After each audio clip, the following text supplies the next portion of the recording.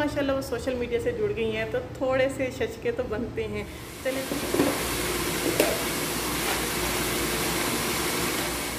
चाहिए ना? बिल्कुल शेप पे लगा सही? आज इस साइड पर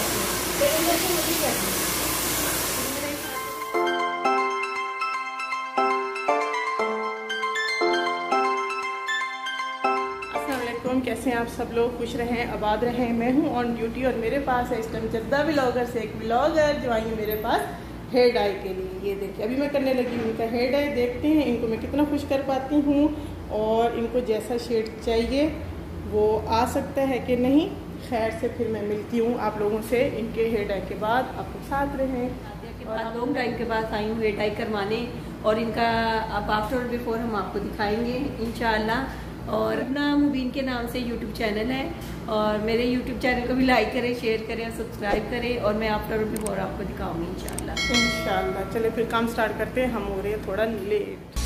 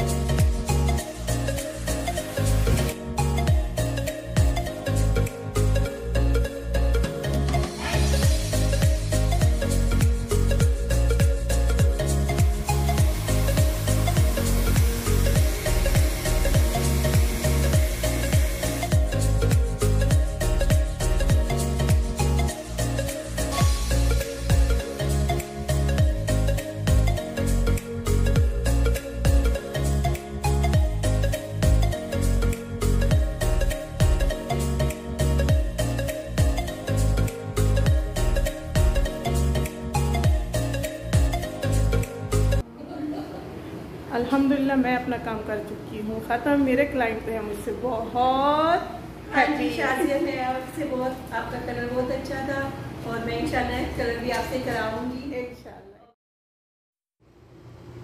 अल्हम्दुलिल्लाह, हमेशा की तरह मेरी एक और क्लाइंट हैप्पी होकर गई और उनके बालों का शेड माशाल्लाह बहुत ही खूबसूरत आ गई मेरी काफ़ी पुरानी क्लाइंट हैं ये, जैसा कि वो बता रही हैं।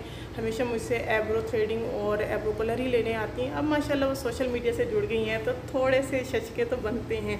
चलें फिर, अब हम भी अपने दूसरे क्लाइंट को देखते हैं और ड्यूटी मज़ीद आगे ज्वाइन करते हैं। खैर से इंशाल्लाह, मेरे लिए तो जद्दा टिकटॉकर हो या जद्दा ब्लॉगर हो, मैं अपना देती हूँ। सबको बेस्ट खैर से। कल भी चलें, फिर इंशाल्लाह मिलेंगे किसी नेक्स्ट वीडियो में। एक नई हलचल के साथ मुझे अपना काम करना है आगे कंटिन्यू मेरी क्लाइंट से वेट में मिलेंगे किसी नेक्स्ट वीडियो में। अपना ख्याल रखिएगा। अल्लाह हाफिज़। जद्दा व्लॉगर्स आएँगे अब हमारे पास।